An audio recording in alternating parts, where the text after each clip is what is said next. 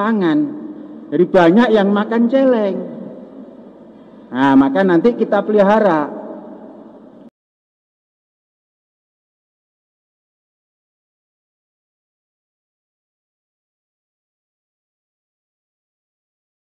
Dari binatang. Binatangnya kaki empat. Namanya celeng.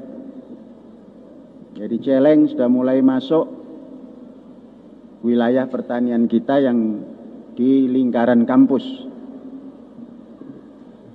Ini menandakan bahwa lingkaran kampus ini tanahnya banyak mengandung cacing.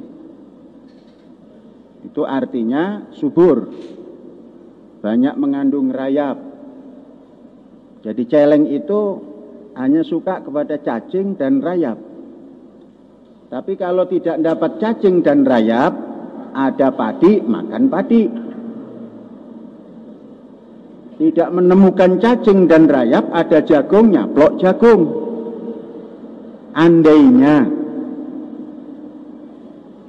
celeng ini tidak seperti itu, maka kita biarkan saja. Karena celeng adalah kawan manusia. Makanya celeng tidak boleh dimakan. Mengapa? Ada unsur-unsur yang mirip manusia. Entah itu ususnya, entah itu darahnya, entah itu kebandelannya. Jangan kecerdasannya ya, bandelannya saja gitu. Nanti kalau mirip manusia kecerdasannya terlalu tinggi barangkali ya. Nah, kan walakot karom nabani Adam toh bukan walakot karomna bani khinzir. Nah, tidak boleh dimakannya itu ada unsur entah darah, entah usus, entah apa itu yang dekat kepada manusia. Maka tidak boleh dimakan. Nah, oleh sebab itu karena sudah berombong-rombongan, zumaro, datangnya itu zumaro, rombongan. Nggih tamboten Pak Talib. Rombongan. Kali anak-anake. Mboke anake bapake dulure kon-konon.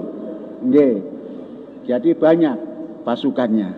Oleh sebab itu oleh sebab itu mulai bulan ini boleh Pak Tolib mengerahkan kaleb anjing untuk mengusir kalau bisa diusir, kalau nggak bisa ya pentung. Boleh. Dipentung boleh. Kalau bisa tangkap hidup-hidup yang besar, bawa ke kampus, dipelihara. Ya, kita buatkan kandang yang bagus, kita kasih makan, supaya anak-anak kita tahu ini celeng.